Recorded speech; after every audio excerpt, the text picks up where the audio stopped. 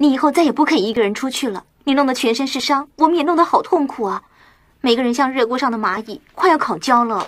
小燕子，这些天啊，小姐几乎天天都在掉眼泪。十六年前，古装大剧《还珠格格》风靡全亚洲，也让小燕子赵薇、紫薇林心如和金锁范冰冰三人一炮而红。当时范冰冰饰演紫薇的中心丫鬟，在戏里总是跟在小姐旁边为小姐设想，两人的好感情在戏外过了十六年，似乎还是如此。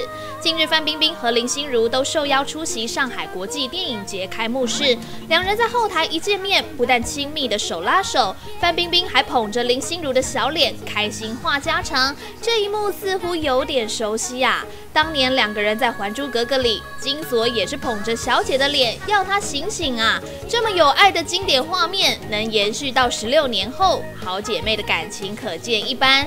有网友就打趣的说：“金锁这丫鬟如此大胆，竟敢直接捧着格格的脸摸，看来两人超有爱的互动已经掀起热烈讨论。” Yes 娱乐新闻中心台北报道。